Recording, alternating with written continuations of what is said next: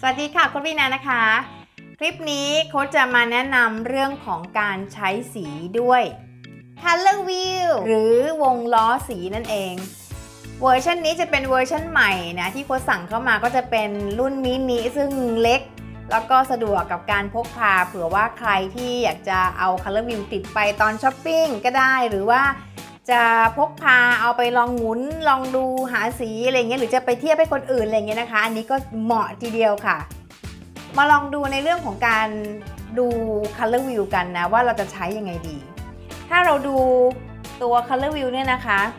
ฟากคันนี้ตั้งแต่สีเหลืองนะลงมานี้ยาวมาฝั่งนี้ ถ้าเกิดเราใช้สีฝั่งนี้เยอะนะคะ เราจะเป็นโทนร้อนง่าย ๆ แบบนี้ ถ้าเราใช้สีฝั่งนี้เยอะนะคะ ฝั่งคันนี้เยอะเราจะเป็นโทนเย็น งั้นมี color view เราก็จะรู้ทันทีว่าสีที่เราควรจะใช้ถ้าโทนร้อนแบบนี้โทนเย็นแบบนี้ง่ายนิดเดียวค่ะ ต่อไปถ้าเราเห็นช่องนี้นะคะ มันจะเป็นการผสมสีมันจะมีช่องเจาะมาที่เขาเขียนว่า add red นะก็คือเติมแดงเป็นยังไง ถ้าเราอยากจะรู้ว่าเฮ้ยสีแต่ละสีเนี่ยเวลาที่ มันผสมกันเป็นแบบไหนเราค่อยๆ หมุนไปนี่คือ amazing ของ color view เห็นไหมคะ สีเหลืองเติมแดงเป็นแบบไหน ออกเขียว เติมแดงเป็นแบบไหนก็หมุนไปเรื่อยๆนะคะ ลักษณะแบบนี้ง่ายๆ แบบนี้เอง เราก็จะเห็นสีมากขึ้นนะ ในมุมของการเติมเขาจะมีแดงนะซึ่งเป็นแม่สีเหลืองน้ำเงิน หรือถ้าเติมขาวสีจะเป็นแบบไหน เติมดำสีจะเป็นแบบไหน ฉะนั้นในวงล้อรอบนอกของสีทุกสี ถ้าเราหมุนไม่ว่าจะเป็นเติมแดง เติมเหลืองเติมน้ำเงินเติมขาวเติมดำเราจะเห็นว่าสีมันเปลี่ยนไปแบบไหน เราก็จะมี option มากขึ้นเวลาที่เราต้องการจะใช้สีค่ะ ด้านหลังของ Color Wheel นะมันก็จะมีสีลักษณะแบบนี้นะ ถ้าว่าเราดูในวงล้อของสี มันจะมีสีอยู่ 1 2 3 4 นะคะ วิธีการใช้ง่ายมากนะ สีวงล้อวงรอบนอกสุดเบอร์หนึ่งก็คือสีที่เป็นสีที่เขาเรียกว่าเป็น pure color นะถ้าเกิดว่าใครที่อยากจะดูสดใสนะสีสดสีเข้มก็ใช้วงล้อรอบนอก ถ้าใครต้องการให้ดูซอฟลงนะคะ วงล้อที่ 2 จะเป็นการเติมขาวลงไป สีนี้ถ้าใครอยากจะดูเด็กนะก็ใช้วงล้อลักษณะแบบนี้นั้นถ้าเกิดเราหมุนไปเราจะเห็นว่าสีแต่ละสีมันก็มี มีทุกทุกสีเลยเห็นไหมคะ มันก็ก็สุดแท้แต่ว่าเราเราจะหมุนลักษณะแบบไหนลงไป ถ้าแดงเป็นแบบไหนแดงเติมขาวเป็นแบบนี้ แดงเติมเทาเป็นแบบนี้ แดงเติมดำเป็นแบบนี้ก็สุดแท้แต่เรา ในวงล้อที่ 3 ถ้าใครต้องการที่อยากจะไม่อยากจะโดดเด่นมากนักวันนี้ซีเราเอาแบบเบาๆกลืนๆโดยเฉพาะคนที่ทำงานในองค์กรสายธุรกิจนะคะ วงล้อที่ 3 จะเป็นวงล้อที่โค้ดแนะนำนะ ถ้าเป็นในธุรกิจวงล้อที่ 1 อาจจะดูชัดไป โอเคนะคะ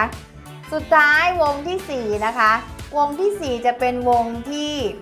สีค่อนข้างเข้ม งั้นใครที่ผิวออกค่อนข้างกลางถึงเข้มก็ใช้สีประมาณลักษณะแบบนี้ได้ดี ผมเข้มใช้สีเข้มอะไรลักษณะแบบนี้นะคะ ก็เราก็นี้เวลาถ้าเราต้องต้องการจะแต่งแบบต้องการจะไล่สี อย่างเช่น เราต้องการจะให้แลดูเหมือนสูงขึ้นอะไรอย่างเงี้ยนะคะ การที่เราใช้สีอย่างเช่น สมมติเราแดงมา เราก็ไล่เฉดลักษณะแบบนี้มันจะให้แนวที่เป็นในแนวดิ่งทำให้เราแลดูสูงขึ้นแล้วก็ผอมลงดีงามนะ มาลองดูเรื่องของการ mix and match บ้าง การ mix and match เนี่ยนะ ถ้าใครที่เข้าใจเรื่องของการ mix สีเนี่ยนะ ตู้เสื้อผ้าเราจะเปลี่ยนไป เราจะเปลี่ยนไป เราจะใช้เสื้อผ้าได้เยอะมากขึ้นนะ วิธีการง่ายๆ คนอยากจะเริ่มเอาจากสีที่เรารู้จักกันอยู่แล้วนะ ก็คือแดงกับเขียวแล้วกันเนาะ ถ้าเราดูลูกศรนนะคะ ตรงนี้นะลูกศรมันอยู่ตรงข้ามกันเลย แดงอยู่ตรงข้ามกับเขียวฉะนั้นสีที่เป็นอะไรที่มันอยู่ไกลกันตรงข้ามกัน เป็นสีที่เขาเรียกว่าเป็น high contrast นะมันอยู่คนละขั้วงั้นถ้าเกิดว่าเราต้องการจะแต่งให้ดูแรงก็ใช้เอาลูกศรเราลองจิ้มดูแล้วเราหมุนไปเราจะเห็นว่า เราก็จะเห็นสีตรงข้ามของมันเอ้ยตรงนี้เราอยากจะใส่แรงๆอะไรอย่างเงี้ยสมมุติว่าเสื้อ กับผ้าพันคอก็ได้ หรือจะเป็นเสื้อกางเกงก็สุดแท้แต่เราเราก็หมุนไปเรื่อย ๆ แบบนี้ เราก็จะเห็นว่าอ๋อโอเค อันนี้เราอยากจะแบบว่าน้ำเงินน้ำเงินมาอยู่ตรงข้ามกับตรงข้ามกับเหลืองอะไรอย่างเงี้ยจัมติ้งไหลแดดโอเคนะคะ อีกอันหนึ่งก็คือการใช้สีที่เป็นคู่สีที่มันใกล้กัน วิธีการก็ง่ายมากเลยก็คือ สมมุติเราจะเริ่มที่เอาเอาเราเอาสีอะไรดีอะเราเอาสีเขียวนี่ละกันนะ สมมุติเราเอาสีเขียวอันนี้ เราไม่อยากจะโดดเด่นมากนักเราอยากจะใส่สีที่มันใกล้ ๆ กัน ก็เขียวอยู่ใกล้กับอะไรน้ำเงิน น้ำเงินอมม่วงอะไรอย่างนี้ หรือเขียวอยู่ใกล้กับเพื่อนบ้านของเขียวก็คือเขียวอ่อนเขียวเข้มอะไรว่าไปก็ใส่ลักษณะแบบนี้ก็ได้งั้น การใส่ตรงข้ามจะทำให้เราดูเด่น การใส่สีที่ใกล้กันนะคะ สีที่ติดติดกันในในวงล้อของสีเนี่ยเราก็ดูมีลูกเล่นแต่เราไม่ถึงกระโดดเด่นมาก อาจจะมีบางวันที่เราอยากจะได้แบบนั้นอย่างเงี้ยนะคะ ประมาณแบบนี้นะ อันนี้มันจะมีสามเหลี่ยมเท่าไหร่ไหมคะสามเหลี่ยมนะสามเหลี่ยมที่มันมันค่อนข้างจะมีมุมที่ไกลกันกับสามเหลี่ยมที่มุมมุมมุมไม่ได้ไกลกันมาก